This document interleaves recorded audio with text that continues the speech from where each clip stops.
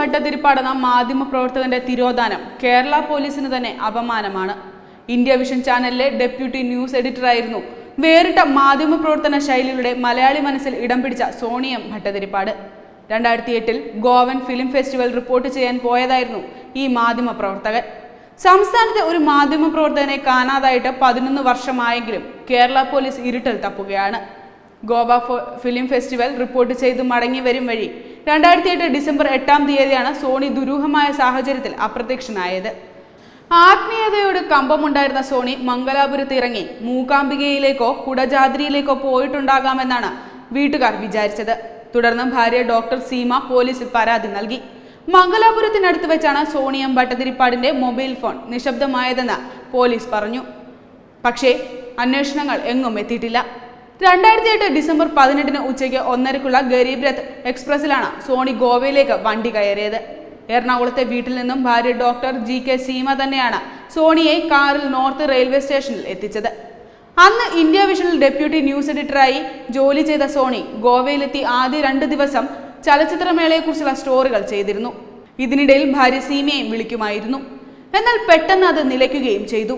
T വിയിൽ വാർത്തയും വീട്ടിലേക്ക് ഫോൺ കോളുകളും വരാതായതോടെ ഭാര്യ സീമ സോണിയുടെ ഫോണിലേക്ക് വിളിച്ചപ്പോൾ അത് നിശ്ചലമായിരുന്നു. തുടർന്ന് നടത്തിയ അന്വേഷണത്തിൽ സോണീസ് മംഗലാപുരം ഫാദർ മുള്ളേസ് ആശുപത്രിയിൽ ചികിത്സയിലാണെന്ന് വിവരം ലഭിച്ചു. എന്നാൽ മംഗലാപുരത്ത് നിന്നും സോണി എങ്ങോട്ടാണ് പോയതെന്ന് ആർക്കും അറിയില്ല. ഇടയ്ക്ക് വീട്ടിൽ പറയാതെ ആഴ്ചകളോളം മാറി നിൽക്കുന്ന ശീലം സോണിക്കുണ്ടായിരുന്നു. അതുകൊണ്ട് കൂടുതൽ അന്വേഷണത്തിന് തയ്യാറായതുമില്ല. എന്നാൽ മാസങ്ങൾ കഴിഞ്ഞിട്ടും സോണി തിരിച്ചെത്താത്തതിനാൽ അന്നത്തെ ഡി ജി പി ജേക്കബ് പുന്നൂസിന് പരാതി നൽകി. തുടർന്ന് ഗോവ പോലീസിലും പരാതി നൽകി. എന്നാൽ പോലീസിന്റെ അന്വേഷണത്തിൽ സോണിയം ഭട്ടതിരിപ്പാടിനെ കുറിച്ച് യാതൊരു തുമ്പും കണ്ടെത്താൻ കഴിഞ്ഞില്ല. ക്രൈംബ്രാഞ്ച് സംഘവും അന്വേഷണവും നടത്തിയിരുന്നു. ആത്മീയ കാര്യങ്ങളിൽ കൂടുതൽ താല്പര്യം കാണിക്കുന്ന സോണി മംഗലാപുരത്ത് നിന്നും മൂകാംബികയിലേക്കോ കുടജാദ്രിയിലേക്കോ പോയി കാണുമെന്ന നിഗമനത്തിൽ പോലീസ് അന്വേഷണം നടത്തിയിരുന്നു. എങ്കിലും ഫലം കണ്ടില്ല. കൂത്തുപറമ്പ് മന്ദ്യത്ത് ഇല്ലത്ത് പത്മനാഭൻ നമ്പൂതിരിയും ഭാര്യ സുവർണനി അന്തർജനവുമാണ് സോണി എം ഭട്ടതിരിപ്പാടിന്റെ മാതാപിതാക്കൾ. രണ്ട് മക്കളാണ് സോണി സീമ ദമ്പതികൾക്ക്. അനന്ത പത്മനാഭനും ഇന്ദുലേഖയും.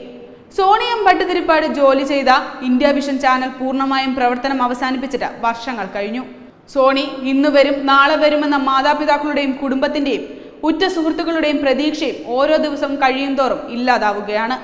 നേരത്തെ ഈ വിഷയം ഏറ്റെടുത്തിരുന്ന മുഖ്യധാര മാധ്യമങ്ങൾ പോലും ഇപ്പോൾ കൈവിട്ട സ്ഥിതിയാണ്. മാധ്യമപ്രവർത്തകന്റെ തിരോധനം സംബന്ധിച്ച് തുമ്പുണ്ടാക്കാൻ കഴിയാതെ കേരള പോലീസ് ഇരുട്ടിൽ തപ്പുമ്പോൾ നിസ്സഹായരാകാനാണ് സോണിയം ഭട്ടതിരിപ്പാടിന്റെ കുടുംബത്തിന്റെ വിധി. വെബ് ഡെസ്ക് തത്തുമൈ ന്യൂസ്.